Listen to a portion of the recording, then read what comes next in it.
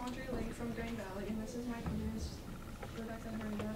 Um, and I will be playing English Suite by Bernard Fitzgerald, movements one, three, and five.